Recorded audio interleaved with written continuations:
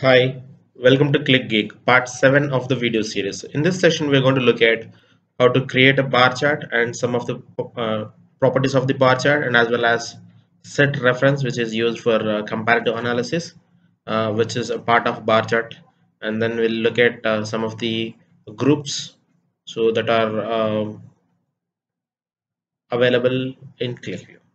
Okay, let's switch to QlikView desktop quickly so I'm going to create a new application. So just create select on that. And then as usual control E uh, for opening the edit script. And then so I don't want relative paths let's select table file and then sales data. So I want uh, the field names to be embedded. And then select finish. First save the application so here it will be bar chart. Right and then reload so that we'll get the data into QlikView. Let's create the list boxes. So for creating multiple list boxes you don't need to go every time and uh, select the list box under new sheet objects.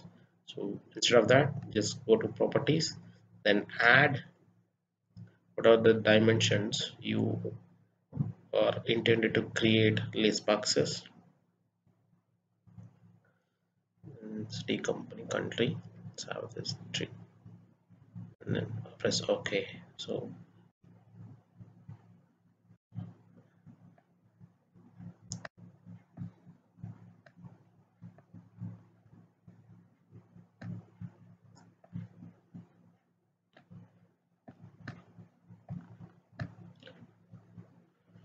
right? So let's create a bar chart with the available data. So this is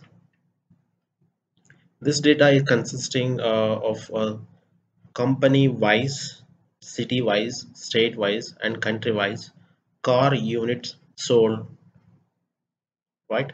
So first I'll look at country wise. So let's add country as a dimension to a bar chart. For that let's select chart and then select bar chart. Click on next and then add I want to see sales by country. Country and then I want to see the units sold.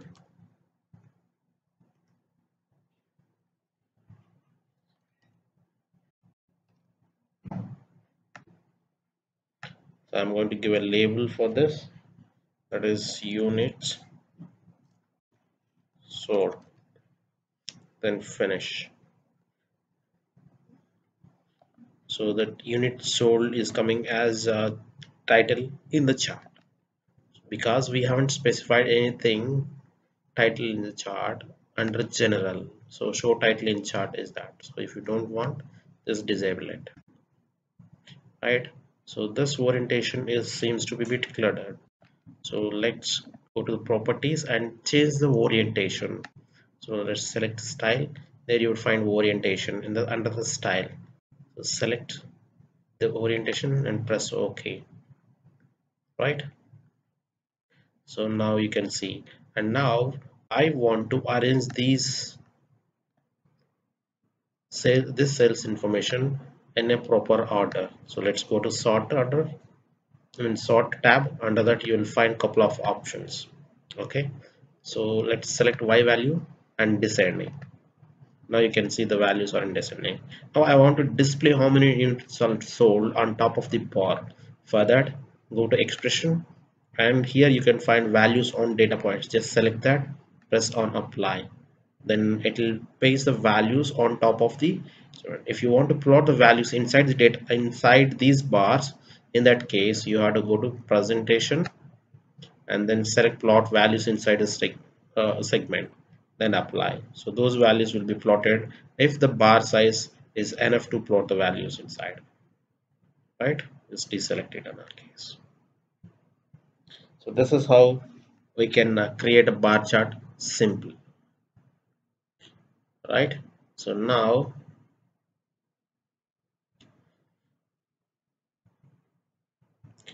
and set reference. What is the set reference? So now create a bar chart by car company. So let's remove it. Now I want to check sales by company. Right? So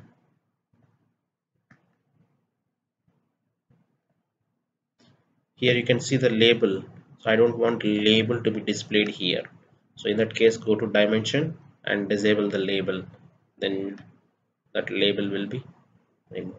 If you don't want the caption to be displayed just go to properties and uh, at the end you find a caption tab. So show, disable this show caption then that caption will be removed automatically. Okay. Now I want to check the sales of these cars and th th these are coming for all the countries. Now let's select Australia so BMW and Ford are there in Australia and uh, 242 units of BMW and 170 units of Ford were sold there. And check Canada. And Canada also has Ford and BMW okay. Now I want to check the units sold comparison with different countries. So Australia and Canada. Now I have selected Australia. I want to compare Australia with Canada. Then right click so go to the properties. On top of the budget just right click and click on set reference. Right? So now just click on Canada. So the values which are in thick color or else in dense color or for the current selection. These are the I mean Canada's selection. And the, the bars that are with a lighter color or for the one which you set for the reference. Means these are for Australia. Okay? So in Australia the BMW sales were 242 and in uh, Canada it's 155 whereas in uh, I mean uh, Ford it's 63 sold in Canada and it's 170 sold in um, Australia. Let's check in Germany so no cars was I mean BMW and Ford was sold in uh, Germany. Let's go for France. So you can see here. So this is how the set reference is very useful for the customers or else first uh, for the end users to compare then and there itself. Okay? So this is the use of set reference then uh, now I want to uh, switch the sales dimension. So earlier we have selected country and then we saw the sales by country. Now we are looking at sales by company. Assume user wants to change or else user wants to look at sales switching it between uh, different kind of different dimensions. So how to do that? Okay so let's clear that. So for that case so QlikView provides two types of groups those are cyclic and drill down. So drill down is nothing but hierarchy level. So assume I want to look at sales first by country and then by state and then by city and then by car manufacturer or company. So this is how to define that? So in for defining that let's go to the dimensions of that particular chart and there you find an option called as edit groups. Click on that and then new. So here by default it's a drill down group. Okay? Let's select group name. When specify the group name. Group one. And what you want uh, to specify in this group. So here I want to see state and then company let's remove state. So I want to see country wise sales country and company. Let's add. So let's promote this country. So now first you can able to look at the sales by country and then followed by company. Okay? Then press ok. This is the drill down. So you can see the arrow mark clearly. Now remove this and add group and in the dimension press apply. Now you can see the sales by company. If you want to go out so it will be country. Now you have sales by country. If you want to drill down to the Portugal sales by company just double click on Portugal. Now you see you can you can see the company sales in Portugal. Okay if you want to come back just double click on this you can come back or else just click on the uh, arrow mark. Right? So this is how you can create and use the drill down. And uh, the drill down is a hierarchical uh, approach to drill down. It means you have to go in one direction. You can't switch in between different things. Suppose assume you have three dimensions. If you want to switch from one di one dimension to another i mean a third dimension it won't work. So you have to follow the path in drill down and the flexibility is there with the uh, cyclic group so assume i want i want uh, let's create a new group. So assume group 2 and which has country state and company right? So let's select cyclic group and then press ok okay. Now remove this and add group 2 a cyclic. Right? So now I want to see sales by company. Just select on this. Click on company. So the sales will be switched from company to country. Right? You can also interact with the chart as well. Right? This is how the cyclic will works. Okay? Now so far we have seen creating groups for dimensions. So how to create groups for expressions. Right here we have some i mean units sold. Let's take average units sold. So avg of units sold. Right? So let's make it avg sold.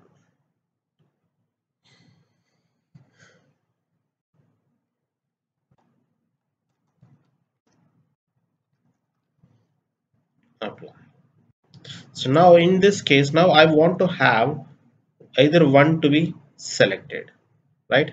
So now I have grouped those two right? You can ungroup that as well. For grouping what you have to do is just click on group then all those things will get grouped okay? Let's finish. Now you can see the average.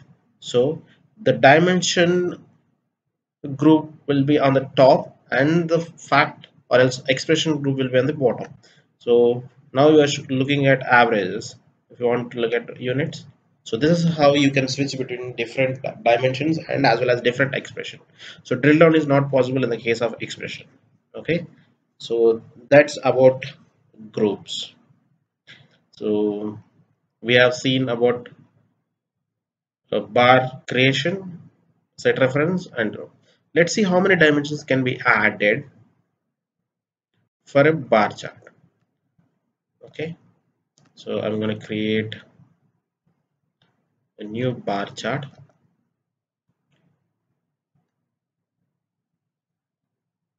So I don't want any title in there. Let's select um, country and state and add sales. Sum of units sold.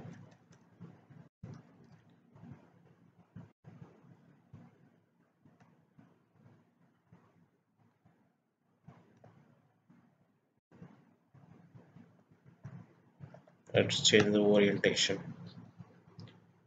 Make it horizontal. Okay make it stack so the first dimension will be on x-axis and the second dimension will be on y-axis with the legends okay. Now let's add the second third dimension. Let's see what will happen. So I'm going to add a third dimension company.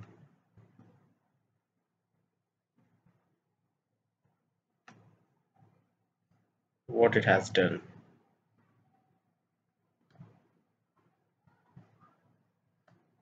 let's select a country Australia. So in our case it's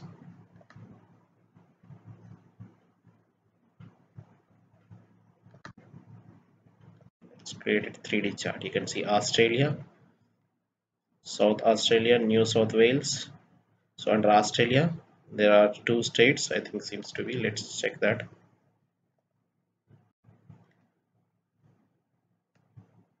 right country state and company. So Australia South Australia and New South Wales New South Wales and that Ford and BMW two states and they have Ford and BMW okay? So one state seems to be has Ford and seems uh, another has seems to be another uh, car. Let's select France. So there are multiple states in France and uh, each and every state has so let's check this state. Which which state is that? So Loriana so let's select Loriana where is that city?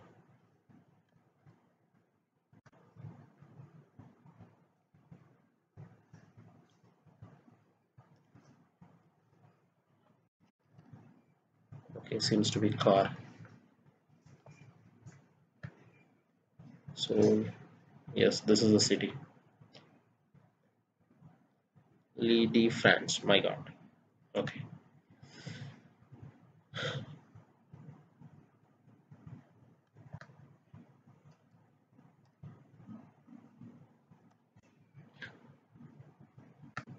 So one state one one uh, state has uh, many companies cars uh, sales. Means uh, so multiple multi brands or multiple brands were sold in that particular uh, state. Okay? So this is how you can visualize three dimensions in a particular uh, bar chart. Let's look at fourth dimension. Let's look at fourth dimension. Let's add city as well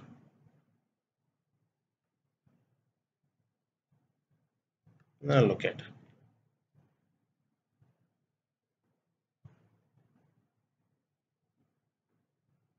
city Mexico. Can you able to read it? You can't able to but the graph is I mean you can produce the graph but it is unreadable. So you can use maximum of three dimensions to get a meaningful or readable format of bar chart. Okay so that's all for today's session. Thanks for watching the video. Please subscribe